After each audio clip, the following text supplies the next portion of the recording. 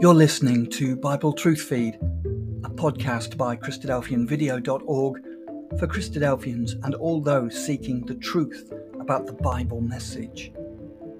Join us now as we present our latest episode. Titled Prophecies That Prove the Accuracy of the Bible prophecies that prove the Bible. What does that mean exactly? Well, the Bible claims itself to be the written word of the one true God. Turn with me, if you will, to 2 Timothy 3 and verses 15 to 17, which reads, that from a child thou hast known the holy scriptures, which are able to make thee wise unto salvation through faith which is in Christ Jesus. All scripture is given by inspiration of God and is profitable for doctrine, for reproof, for correction, for instruction in righteousness, that the man of God may be perfect, thoroughly furnished unto all good works. See that important section there at the start there? All scripture is given by inspiration of God. This is a consistent message throughout the Bible that the Bible, the authors of the Bible, the men, and, men who wrote the Bible, were inspired by God to write what God told them. And so we have a book here that claims to be written by a God. And that's a very tall claim and difficult, extremely difficult to prove. Especially as if we look through other sections of the Bible, we'll find eyewitness accounts of people raised from the dead, claims for paths to eternal life, We'll find uh, claims that God created the earth and histories and, and stories that go back thousands of years. And big claims like this require big proof. And the Bible gives us the biggest proof in the form of prophecies. If we were to ask a dictionary what prophecy is, it would tell us that prophecies are predictions of what will happen in the future. They're a telling of what events that will come to pass in the future, prophesied, as you will, before they happen. And there have been lots of prophets in the past that claim lots, from lots of different religions and lots of different societies to foreknow what's going to come to pass. And there's a very simple test which quickly eliminates false prophets from real prophets. It's a very simple test that you can apply and it's two steps. All false prophecies fall into one of two categories. They're either too vague to be strictly considered prophecies. For example, you could look at the weather tomorrow on your phone, and that could be considered a prophecy. But it's a little vague, and it's not a real prophecy. You know, it's, it's far too inaccurate and far too vague to be considered proof of inspiration. And the other, prof- uh, other common problem that many prophecies written by many people have is they're actually histories. You know, the idea that these people write events after they happen and then claim that there were prophecies spoken years before. Take, for example, Nostradamus, possibly the most famous prophet of recent events, you know, the most famous prophet of the last 500 years, say. He claimed all manner of prophecies and he was born in the 16th century, before many of the prophecies he claimed came to pass. So he passes the test of predating prophecies. However, he is too vague to be considered a real prophet. It's, it's, strictly speaking, his prophecies are more just general assumptions about the future. For example, this is a quote from Britannica Nostradamus' predictions tended to be about general types of events some people believe his prophecies have predicted actual events regularly as time goes on. Some people believe, such as the death of Henry II, the French Revolution, the rise of Napoleon, and the rise of Adolf Hitler, and even the 9 11 attacks. But most historians maintain that his prophecies tend to be about general types of events that occur frequently. You know, the cyclical nature of history is such that you can make a, a rough guess about things that will come in the future from what has happened in the past. Nostradamus was a skilled author and observed patterns in history which he used to make rough predictions about the future. Uh, however, many of his correct assumptions aside, he made many, many incorrect assumptions as well. And as such, we have to label him a false prophet. He's not an inspired prophet, as too many of his prophecies didn't come to pass. What about the Bible then? Does the Bible, let, let's first look at the Bible's claim to have prophecy in it. Turn with me to Amos 3, Amos 3 verse 7. Surely the Lord God will do nothing, but he revealeth his secret unto his the servants, the prophets. God will not do anything without revealing his plans for the future with his servants, the prophets. Turn with me too to 2nd of Peter 1 verse 21. Sorry to jump all the way back to the other end of our Bible. 2nd of Peter 1 verse 21, which reads, For the prophecies came not in old times by the will of man, but holy men of God spake as they were moved by the Holy Spirit. So these two verses tell us two things. They tell us first that God does reveal his plan in prophecies in the Bible, so God does, the Bible does claim to have prophecies from God. And the second thing it tells us is that the prophecies do come from God. They're not just prophecies written by the individual authors, not written by Paul or by Amos, for example, or by Peter. They all come through the inspiration of God. But the Bible is a book so tonight we're going to attempt to prove a number of prophecies are genuine, bona fide legitimate prophecies which pre-exist the events they prophesy and took place with incredible accuracy, not vague at all, to the pinpoint accuracy. And tonight specifically, we're going to be focusing in and around prophecies in the book of Daniel. We had our reading, Daniel 2, and another prophecy in the book of Ezekiel. However, firstly, before we look at these prophecies, we, we first need to establish and help the Bible to pass the first test, i.e., was the word or is the word, does the prophecies in the Bible predate the events that they claim to prophesy? Or, and also, like Nostradamus, are the prophecies in the Bible too vague? Are, are they just rough assumptions about the future that came to pass and more or less coincidentally fell into place but any decent historian could have a jolly good stab at it and probably come up with a similar prophecy. First, we're going to establish the age of some of these prophecies. And first things first, we can definitively say that the prophecies of Daniel and Ezekiel are at least older than 300 BC. How can we prove that? Well, the Dead Sea Scrolls are the best proof for that.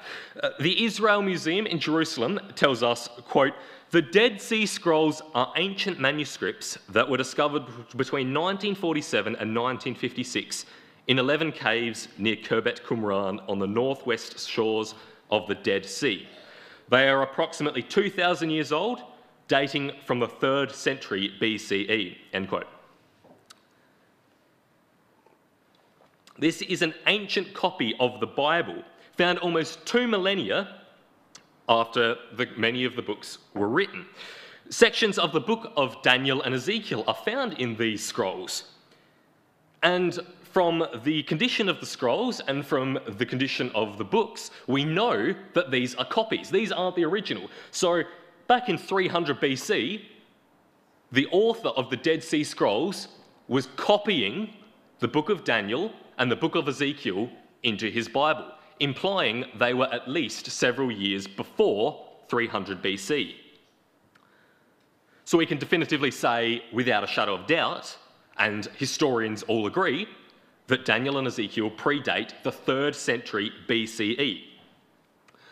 And we can go back slightly further in our proof, and you'll have to bear with me because this is a bit of a whirlwind, but it's an incredible story. The first century historian, Jewish historian Josephus, tells a story in his book Jewish Antiquities about Alexander the Great's interaction with the Jews at Jerusalem. So, according to the translation of William Whiston, who translated Josephus's books, the story goes as such Alexander the Great is defeating Darius III, the king of Persia, and he's reigning over the Persian armies across all of Persia, defeating them left and right and he sends a message to the Jews at Jerusalem with some instructions. He tells them for, to forsake Darius and send auxiliaries, or soldiers and servants, food, and the tribute they'd normally send to Darius to Alexander instead. However, the Jews refused this, this generous offer from Alexander as they had vowed to send the tribute to Darius instead. And if you know anything about Alexander the Great, he was very much a one chance man. If you didn't take the chance of mercy that he gave you, the chances were you would be destroyed. And now the Jews of Jerusalem have made an enemy of the greatest tactician in all of history, known for his penchant for destroying errant and disobedient cities. To add insult to injury, the Samaritans, a rival religion in Jerusalem, had forsaken their oaths with Darius and gone straight to Alexander and sent the auxiliaries and the food and the tribute that Alexander wanted. So, in exchange for this, Alexander said, Yeah, sure, we'll, we'll kick the Jews out and you can continue living in Jerusalem, no worries. You can worship there all you want. Alexander is furious with the Jews, and, and before long, he arrives outside the gates of Jerusalem. However, before he can lay siege to Jerusalem, for some reason, the gates of Jerusalem are opened, and the high priest of Jerusalem walks out.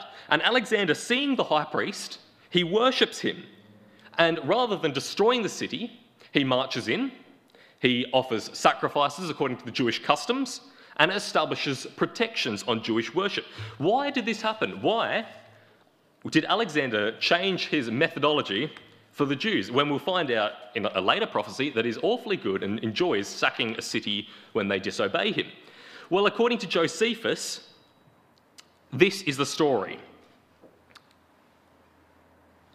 This is a quote from 11335 in Jewish Antiquities. However, Parmenion alone went up to him and asked him how it came to pass that when all others adored him, Alexander, he should adore the high priest of the Jews. To whom he replied, I did not adore him, but that God who has honoured him with his high priesthood.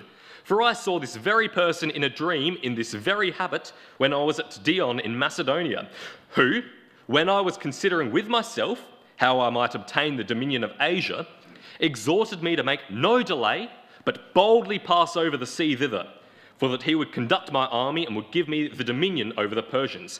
Whence it is that, having seen no other in that habit, and now seeing this person in it, and remembering that vision and the exhortation which I had in my dream, I believe that I bring this army under the divine conduct, and shall therewith conquer Darius, and destroy the power of the Persians, and, all, and that all things will succeed according to what is in my own mind. And when he had said this to Parmenion and had given the high priest his right hand, the priests ran along by him, and he came into the city. And when he went up into the temple, he offered sacrifice to God according to the high priest's direction, and magnificently treated both the high priests and the priests. And when the book of Daniel was showed him, wherein Daniel declared that one of the Greeks should destroy the empire of the Persians, he supposed that himself was the person intended. And as he was then glad, he dismissed the multitude for the present. Alexander wasn't a gullible fool. We know this from history, and we know that he didn't have a problem with destroying cities. Yet, for some reason, he didn't destroy Jerusalem, despite their backstabbing and turning against him. So it seems very likely, very possible, that Alexander the Great was shown the book of Daniel. And Alexander the Great also knew a fraud when he saw it. And he knew from reading the book of Daniel that it wasn't written hurriedly by the high priest as, Dan as Alexander marched into the city. It had to be at least several generations before Alexander the Great. And so, we've reached a critical point in our discussion because we've proved that the book of Daniel and the book of Ezekiel, from the words of Josephus, they predate Alexander the Great. And this is all we need to prove the inspiration of the Bible. Allow me to show you how. See, the book of Daniel and Ezekiel tell the rise of Alexander the Great and his defeat over the Persians, and ultimately the loss of the empire he built to the Romans in incredible detail. Our reading for this evening was Daniel chapter 2, uh, and turn with me back to that. In Daniel 2, we have the first great prophecy of Daniel, directed to the ruler of the first of these empires. We read about it. Daniel 2, verse 37 to 39. Thou, O king, art a king of kings, for the God of heaven hath given thee a kingdom, power, and strength, and glory. And wheresoever the children of men dwell, the beasts of the field and the fowls of the heaven hath he given into thine hand, and hath made thee ruler over them all. Thou art this head of gold. We have here the key to the first great prophecy of Daniel. Daniel is speaking to Nebuchadnezzar, who ruled an empire historians call the Neo Babylonian Empire. Neo New Babylonian Empire. It was the second great Babylonian Empire. And Nebuchadnezzar, as the story of Daniel 2 tells us, received a vision from God. And Daniel, through the power of God, interpreted it. So we have in this chapter both the vision of Nebuchadnezzar and the interpretation. We've got all of the work essentially done for us. We don't even have to think outside the square. It's written right there. Thou art the head of gold. Nebuchadnezzar and his empire was the head of gold. And after thee shall arise another kingdom inferior to thee, and another kingdom of brass, which shall bear rule over all the earth. And the fourth kingdom shall be strong as iron, forasmuch as iron breaketh in pieces and subdueth all things. And as iron that breaketh all these shall it break in pieces and bruise. Thus we find that the king, with his empire, the Neo Babylonian Empire, represents this head of gold.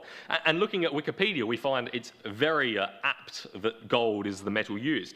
The editors made this statement The period of Neo Babylonian rule thus saw unprecedented economic and population growth throughout Babylonia, as well as a renaissance of culture and artwork as Neo Babylonian kings conducted massive building projects, especially in Babylon itself, bringing back elements from the previous 2,000 years of Sumero Akkadian culture. Truly, an empire of gold. However, much to Nebuchadnezzar's dismay, Daniel tells him that his empire would fall to another empire of silver, characterized by the chest of arms. We can see it on the statue over there. And if, we, if you go to Wikipedia, which I recommend if you ever want to study Bible prophecy, it's the best tool. It has an excellent little description in the right hand bar, and at the bottom of the right hand bar, it has a tool called the Succeeded By section. And it'll tell you, for example, who a king was succeeded by or preceded by. And in our case, it tells us which empire succeeded the Babylonians. The Achaemenid Empire of the Medes and the Persians defeated the Babylonians in 539 BC. The story is very famous. They, in the middle of the night, diverted the course of a river, snuck through a gate, and opened up the gates. The empire of the Babylonians that Nebuchadnezzar was so proud of was defeated. And the Achaemenid Persians rode, rose to far greater heights than the Babylonians. And, so, and they used silver as a currency, quite famously. They were the first, in, during their period, currency, uh, coinage as we know it, was, the fir was first developed and used. And their strength and their size is very accurately portrayed by chest and arms, you know, able to strike out and take a blow. However, the Achaemenid Empire wouldn't last forever. And now we get into our definitively prophetic section because the Achaemenid Empire was succeeded by the empire of Alexander the Great. His was the third kingdom of brass, which shall bear rule over all the earth. And if you know the story of Alexander the Great's empire, in 10 short years, he outstripped the Persian Empire in size dramatically, marching his soldiers all the way from Macedonia and, and even left a bit of Macedonia and Athens and Corinth, all the way to the Indus in Persia, an incredible empire. And his empire was characterized by brass. And if you've ever seen the iconic image of a Greek soldier, the hoplite, you'll know that they're characterized by that brass armor. Also, what's interesting is that the empire of Alexander the Great is a belly and thighs. And that's interesting because it started out as a unified empire, but when Alexander the Great died, he was possibly assassinated, his many generals had a power struggle amongst themselves, and after a period of time, two generals rose up as the strongest. So we've got sort of like this one be belly of Alexander the Great that stretches into the two thighs of his generals, which were called Seleucid and Ptolemy. They ruled Syria and Egypt between them. However, Alexander's great empire is not the last either. His is replaced by an empire of iron. And this empire of iron is described as breaking in pieces and subduing all things. And if you know the empire that succeeded the Ptolemaic and Seleucid empire, it's the Romans. They entered the scene in typically Roman dramatic style and defeated the Greeks no problem.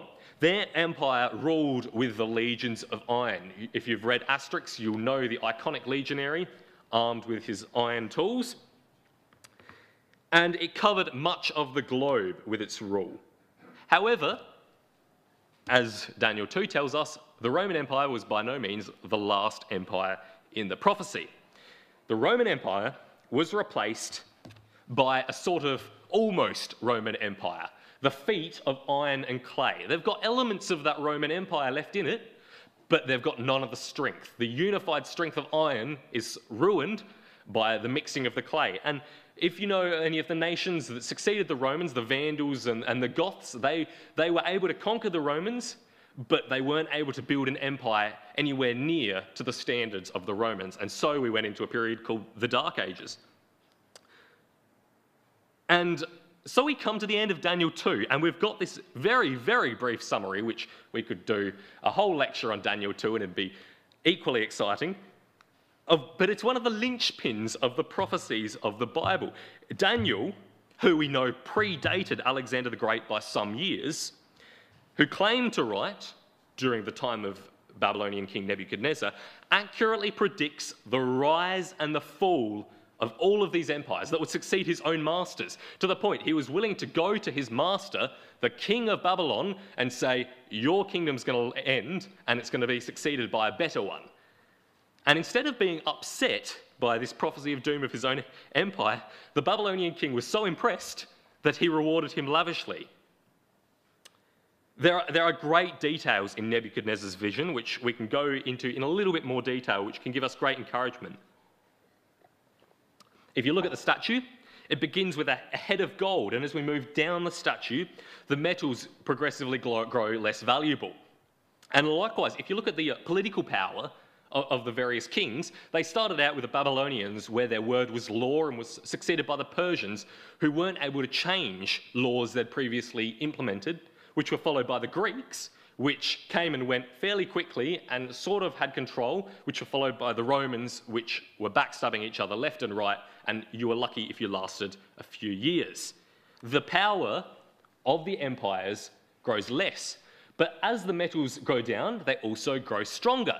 You can't build a very good sword out of gold, but you can build an excellent one out of iron. And likewise, the Babylonians were, had an impressive army, but were nowhere near as impressive as the Persians, who were nowhere near as impressive as the Greeks, who weren't as impressive as the Romans. Yet when we come to the feet, we find that the cycle breaks. All of a sudden, the strength of those metals is lost. Despite the intricacies of Daniel 2, though, it can still be argued, possibly, that it's a little vague. After all, if you were to make broad guesses like Nostradamus, you might well come up with similar prophecies about the nations that would succeed the Babylonians. They'll be stronger, they might be weaker politically. Yet, luckily for us, just around the corner in Daniel chapter 7 is an even more persuasive prophecy. Daniel 7, verse 2 Daniel spake and said, I saw in my vision, so we know it's another prophecy, by night, and behold, the four winds of the heaven strove upon the great sea, and four great beasts came up from the sea, diverse one from another. We have another vision of Daniel. And to summarize what this, this prophecy is all about, it makes perfect sense, it fits perfectly if we take the beasts of this chapter to be the nations that would succeed the Babylonians, just like in chapter 2. Four great beasts come up from the sea, diverse one from the other. The first was like a lion and had eagle's wings. I beheld till the wings thereof were plucked, and it was lifted up from the earth and made to stand upon the feet as a man, and a man's heart was given to it. And, and we have here an excellent summary of the history of the Babylonian Empire. It started out as this underdog empire who forged their empire through their great prowess in battle. However, if we were to turn to Daniel chapter 6 or 5, uh, wherever, Daniel chapter 5, we'd read about the end of the empire when it was lost in a fit of decadence. They had an opportunity where they were a great lion with eagle's wings, able to strike out quickly and powerfully. Yet sooner or later, those wings were taken from them and they were given the heart of a man. And so, another beast succeeds them, like to a bear.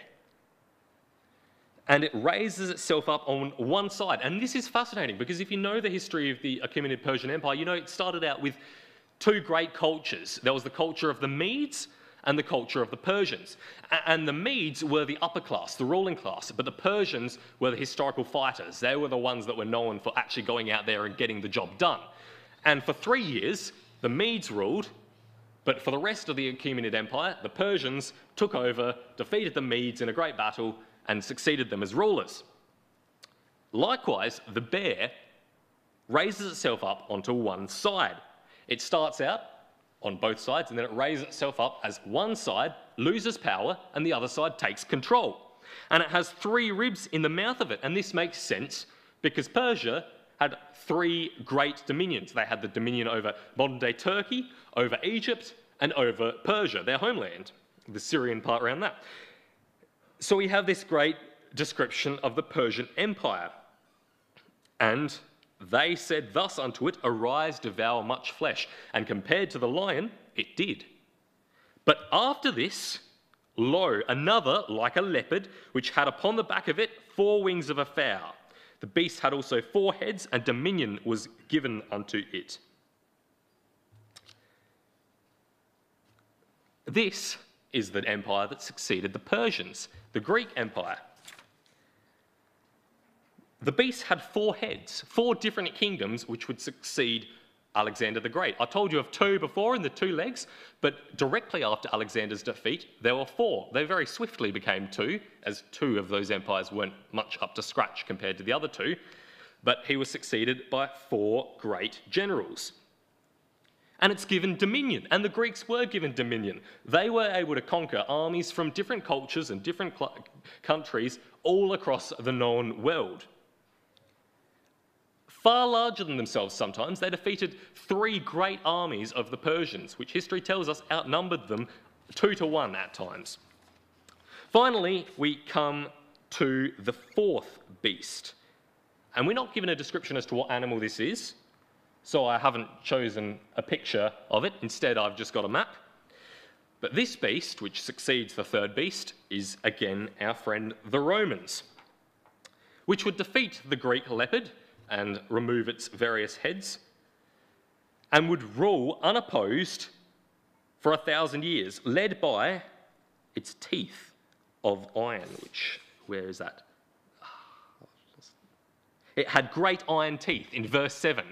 So this beast is given iron teeth, the iron legions of Rome, to go out and to conquer all other nations. And if, if you're unsure with me whether or not this is really what this prophecy is saying, jump over to verse 15. I, Daniel, was grieved in my spirit in the midst of my body, and the visions of my head troubled me. I came near unto one of them that stood by, an angel, and asked him the truth of all this. So he told me and made known the interpretations of these things. These great beasts, which are four, are four kings which shall arise out of the earth. So we know that these prophecies, again, is another prophecy of the four great empires that would come one after the other. Remember, brothers and sisters and friends, that the book of Daniel predates Alexander the Great. And this is where it really gets exciting, because now we're going to look at a prophecy that goes into great detail about the life and works of Alexander the Great. Jump over the page with me to Daniel chapter 8 verses 1 through to 8. In the third year of the reign of King Belshazzar, a feast appeared unto me, even unto me, Daniel, after that which appeared unto me at the first. And I saw in a vision, and it came to pass, when I saw, that I was at Shushan in the palace, which is in the province of Elam. And I saw, and I, sorry, and behold, there, and I saw in a vision, and I was by the river of Ulai. Then I lifted up mine eyes and saw and behold, there stood before the river a ram, which had two horns. And the two horns were high, but one was higher than the other, and the higher came up last. I saw the ram pushing westward and northward and southward, so that no beasts might stand before him. Neither was there any that could deliver out of his hand, but he did according to his will and became great. And as I was considering, behold, an he goat came from the west on the face of the whole earth, and touched not the ground and the goat had a notable horn between his eyes. And he came to the ram that had two horns, which I had seen standing before the river, and ran unto him in the fury of his power. And I saw him close unto the ram, and he was moved with choler against him, and smote the ram, and brake his two horns. And there was no power in the ram to stand before him, but he cast him down to the ground and stamped upon him and there was none that could deliver the ram out of his hand. Therefore, the he goat waxed very great. And when he was strong, the great horn was broken. And for it came up four notable ones toward the four winds of heaven. If this is beginning to sound slightly familiar and slightly recognizable, excellent. Now, it's worth noting that Daniel lived during the reign of two of the great empires that he wrote about the empire of the Neo Babylonians, and then he lived during the coup and the, and the siege and into the succeeding empire, the empire of the Achaemenid Persians. And Daniel receives this vision in chapter 8, and in verse 2, it tells us that in the vision he's taken to Shushan the palace. Now, Babylon didn't have a Shushan the palace, but Persia most certainly did. So this tells us he, he's going into the future to the next empire along, the Persian Empire. And he wouldn't recognize this as Shushan the palace, obviously, till later on in life. Belshazzar, king of the, Nebu- uh, of the Babylonians, Shushan the palace is in Persia. And in this, while he's near, he can see this palace, he's standing beside the river Ulai. And he receives a vision about these two great animals, symbolic like, like the previous chapter was symbolic of the two great empires. The first animal, who's sitting by the banks of the capital city of Persia, was a ram, a great sheep. Clearly, this ram is symbolic of the Persian Empire, which makes sense as we read on, because like the bear in the previous chapter, the ram has a number of distinguishing features. Two horns, and the two horns were high but one was higher than the other, and the higher one came up last. Now, remember that story of the different cultures in Persia, the Medes and the Persians. The Medes came up first, they were the great ruling class. They ruled as they saw fit and tended to oppress their Persian friends until the Persian friends realized that they were the stronger and took power and overtook the greatness of the Medes. Two horns, one starts out smaller but grows larger than the other. Likewise, we've got these two main ruling classes. And, and, during the first years of this empire, the empire didn't do much until along came the first king of the Persians who succeeded the last king of the Medes, a guy called Cyrus, Cyrus the Great. And Cyrus the Great and his son and grandson, and especially great grandson, pushed westward and northward and southward and invaded modern day Turkey, which was then Greek, and Syria, and Iraq, and Afghanistan, and Egypt. They, they basically invaded every single nation around them that they possibly could. And as the prophecy tells us, they were untouchable. Neither was there any that could deliver out of his hand. He did according to his will and became great. But here comes the goat. Behold, an he goat came from the west. Greece is west of Persia. On the face of the whole earth, this goat is undoubtedly Alexander's Greek Empire. Greece forced all nations before it to choose between destruction or submission. And he conquered speedily, so quickly, in fact, that, like the goat, he didn't touch the ground, essentially. In 10 years, he overtook the Persian Empire and the Egyptian Empire and moved all the way into defeating armies in India. That's how far he got. The Phoenicians, this great naval power he destroyed, we'll talk more about that in a second. All were destroyed. Lydia, all of these empires that came, lo and behold, to the help of the ram. There was none that could deliver the ram out of his hand at the end of verse 7. So nations come to help the ram but fail. The ram is cast down by this goat. And in three great battles, we learn in history that Alexander the Great defeated the armies of the Persians. And the goat tramples the ram into the ground and, and wipes the ram out. And Alexander at the start was willing to offer terms to Darius, and by the end of it, Darius had angered him such that the Persian Empire was destroyed and would not return until the time of the Romans. Then the goat waxes great and fills the earth, yet in its greatness, verse 8, when he was strong, the great horn was broken. And if that isn't symbolic of the Greek Empire, I don't know what is. At the very height of its power, the great man who had made it possible, Alexander the Great, is taken out of the scene. And from Alexander the Great rises up four notable ones towards the four winds of heaven. You've got these four generals that come up after Alexander the Great. Once again, these symbols, they repeat themselves. It's nothing new and it's incredibly detailed. Four generals that succeeded Alexander the Great. And if you're doubtful as to whether or not I'm just making all of this up, look at verses 20 to 21. The ram which thou sawest having two horns are the kings of Media and Persia, and the rough goat is the king of Grecia and the great horn that is between his eyes is the first king. Definitive. And I'd remind you again, we proved these predated Alexander the Great's time. Possibly, though, it still lacks in a little bit of detail. It could still possibly be the product of good guesswork. Maybe the author of Daniel was just excellent at having a jolly good guess. If only we had a prophecy that went into even more detail and maybe one that didn't come from Daniel? Well, turn with me to Ezekiel 26.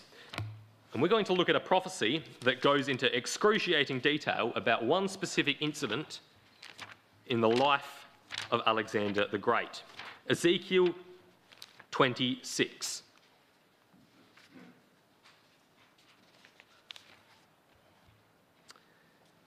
Son of man, this says in Ezekiel 26 and verse 2, because Tyrus hath said unto Jerusalem, Aha, she is broken that was the gates of the people. She is turned unto me. I shall be replenished. Now she is laid waste. Therefore, thus saith the Lord God, because I am against thee, O Tyrus, and will cause many nations to come up against thee, as the sea causeth his waves to come up. And they shall destroy the walls of Tyrus and break down her towers, and I will also scrape her dust from her and make her like the top of a rock. It shall be a place for the spreading of nets in the midst of the sea. For I have spoken it, saith uh, the Lord God, and it shall become a spoil for nations. A little bit of background Tyre is the capital city of the Phoenician Empire, which stretched all across the Mediterranean. Later on in life, they'd be known as the Carthaginians, which would have a problem with the next great empire, the Roman Empire. And they had great skill at sailing and an extremely large fleet, and this gave them great trading ability and control over the Mediterranean. And this was a problem for the various empires that had the rule over the, the Mediterranean the Babylonian, the Medo Persian, the Greek, and the Roman empires. And chapter 26 tells of the downfall, the clash between these various empires and the city of Tyre. Now, Tyre had taken the opportunity of historic weakness in Israel to take spoil. The Israelites had a, time where they were been defeated by the nations around about them. I think in this case it was the Assyrians in Israel and the Tyrians, who had historically been allies and friends of the Israelites back in the time of the first King David and his successor Solomon, second King David and his successor Solomon, now they'd taken the opportunity to, to march into Israel and to seize a lot of plunder. And God was going to punish them for that. As such, if we read in verse 7, for thus saith the Lord God, Behold, I will bring up on Tyrus Nebuchadrezzar, king of Babylon. Nebuchadrezzar is another name for Nebuchadnezzar. A king of kings from the north, with horses and with chariots, and with horsemen and companies and much people. He shall slay with the sword thy daughters in the field, and he shall make a fort against thee, and cast a mount against thee, and lift up the buckler against thee, and he shall set engines of war against thy walls, and with his axes he shall break down thy towers. By reason of the abundance of his horses, their dust shall cover thee. Thy walls shall shake at the noise of the horsemen, and of the wheels and of the chariots, when he shall enter into thy gates, as men enter into a city wherein is made a breach. With the hoofs of his horses shall he tread down all thy streets, he shall slay thy people by the sword, and thy strong garrisons shall go down to the ground. We reach the end of verse 11, and we have here a story. Nebuchadnezzar didn't have a navy. His, uh, his capital, Babylon, was miles from the sea. And, and as such, he saw the threat of Tyre as a great one. And so he came up against Tyre. And if you know anything about the history of Tyre, you'll know there's, there's two cities in Tyre. There's an island citadel that sits off the shore, and there's the mainland city of Tyre. And Nebuchadnezzar's soldiers were excellent at siege warfare, and after a siege that lasted only from 586 to 573 BC, they destroyed the city of Tyre, the mainland city of Tyre.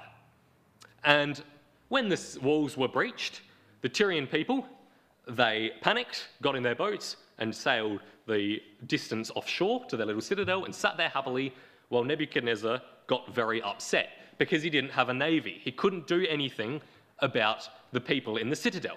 So Tyre survived to live another day. However, if you look, what's interesting about Ezekiel 26 look at the differences between verse 11 and 12. We start off, and from verses 1 through to 11, we have this character Nebuchadnezzar who's described as he. He shall slay with the sword, he shall set engines against thee. But if you go into verse 12, the pronoun changes to they. They shall make a spoil of thy riches. And it seems like a small detail until you realize that Nebuchadnezzar only half finished the job. 200 years later, after the empire of the Medes and the Persians had been and gone, along came Alexander the Great, and he had the same problem Nebuchadnezzar had. The Persians were able to build a navy, they were able to sort of meet the Tyrians head on, but Alexander the Great, he didn't have much of a navy. He was constantly a threat from the sea. And so he reaches the city of Tyre, and much like Nebuchadnezzar, he breaks down the main city on the mainland, and all of the people of Tyre flee to the island. But that's not the end of it this time. They shall make a spoil of thy riches and make a prey of thy merchandise. They shall break down thy walls again, destroy thy pleasant houses. Sounding familiar? And they shall lay thy stones and thy timber and thy dust in the midst of the water. And I will cause the noise of thy songs to cease, and the sound of thy harps shall be no more heard. And I will make thee like the top of a rock. Thou shalt be a place to spread nets upon. Thou shalt be built no more for I, Yahweh, have spoken it, saith the Lord God. That doesn't seem like the story of a group of people sitting on a citadel happily, safely. And the story with Alexander the Great is different from Nebuchadnezzar. He was a much more tenacious man than Nebuchadnezzar. And the story goes something like this. The Alexander at the, at the start had sent, had sent a, a treaty delegation to the Tyrians and said, I just want to sacrifice in your citadel. And some people say this was a big trick for them to open up the walls and he come marching into the island and take it. Who knows? All we know is that the Tyrians said no and killed his messengers. And that upset Alexander slightly. So he went to Tyre and tore down the city and, and killed all the people. And all of the people fled, who could, to the citadel offshore. And they stood there thinking they, they were safe. But Alexander the Great had the name Great for a good reason he got his soldiers to tear down the old city on the mainland and to throw the rubbish into the sea. And, and, slowly but surely, they built a causeway out to the island. And you can imagine sitting on the, on the walls of the island watching that causeway come out. And we're told they built siege weapons on the causeway as it went out. And the Tyrians, they fought, fought back. They tried to defeat the siege weapons. Famously, they set ships on fire and rammed them up the causeway and set fire to the siege weapons. Alexander built more. And after a great siege, Alexander reached the island. And at that point, there was no surrendering.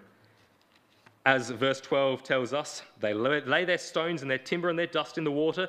And then in verse 13, I will cause the noise of thy songs to cease, and the sound of thy harps shall be no more heard. And I'll make thee like the top of a rock, Thou shalt be a place to spread nets upon. Thou shalt be built no more, for I, Yahweh, have spoken it, saith the Lord God. And Tyre never did gain any of its power back. It, it lost that great power it once had. The, the, the remaining people fled to modern day North Africa, which back then was known as Carthage, which would have a resurgence later on in life with the next empire, the Romans. But we can't talk about that this evening. The doom of Tyre was pronounced by Ezekiel years before it happened with unerring detail. The city was laid waste first by Nebuchadnezzar, but only incompletely. And finally, it was destroyed entirely by Alexander and his men in a unique way, a way that you could not guess would happen. If you were to take an ordinary situation where a nation attacks an island nation, they might send ships, they might just, like Nebuchadnezzar, leave them alone, they might bargain with them. Who would have thought you'd break down the walls of the city, the houses of the city, and, and build a causeway out? And if you look at satellite maps, that causeway is still there. The island of Tyre is no longer an island, it's now an isthmus, a little peninsula sticking out. But this is all ancient history. And although it's quite interesting to learn about, it only comes into relevancy when we consider that all of this took place exactly as the Bible predicted. And don't forget, exactly as the Bible predicted years before they came to pass. These prophecies show that the prophecies of God in Daniel are true. And this has enormous implications because if we've proved Daniel 2 true, then we need only turn to the end of the chapter where we'll find an encouraging message left for those who would read it later on. Daniel 2, verse 44. And in the days of these kings shall the God of heaven set up a kingdom which shall never be destroyed. And the kingdom shall not be left to other people, but it shall break in pieces and consume all these kingdoms, and it shall stand forever not like the kingdom of the Babylonians or the Medes or the Persians or the Greeks or the Romans or the empires that succeeded the Romans, this kingdom would last forever. And what's more, it would fill the whole earth. This is the point of these prophetic messages. It's not so much about, oh, that's very interesting. It's to remind us that part of this has been fulfilled exactly as promised, part of it is yet to come to pass. Now, if that part we can look at and say that happened, then we can look to the future and say that will happen with the same degree of accuracy. And so we, we have to come to the conclusion that the God of heaven will set up a kingdom which shall never be destroyed. And that's what we're all about here with us Christadelphians. We want everyone to be a part of that kingdom. And that we have many other lectures, many other day, uh, evenings, many other Sundays on topics that go into great detail on the kingdom of God and what it will be like and how you can be a part of that. And if you want to talk to us afterwards, feel free to, and we'll gladly discuss it with you. Thank you for listening.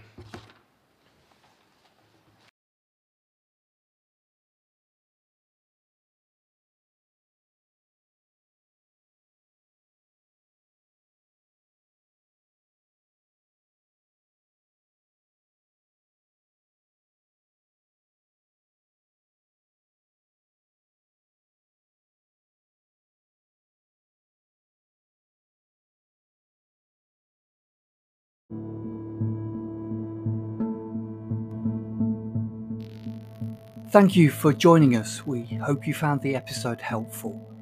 Don't forget, most of these episodes are also available as videos on our video channel, cdvideo.org. So head over and take a look. If you have any comments or questions or suggestions, please get in touch or leave us a voice message. We love to hear your feedback. You can email us at bt f at cdvideo.org. If you enjoyed the episode, then please share it with others. Until next time, may God bless you in your studies and your walk towards God's kingdom. Amen.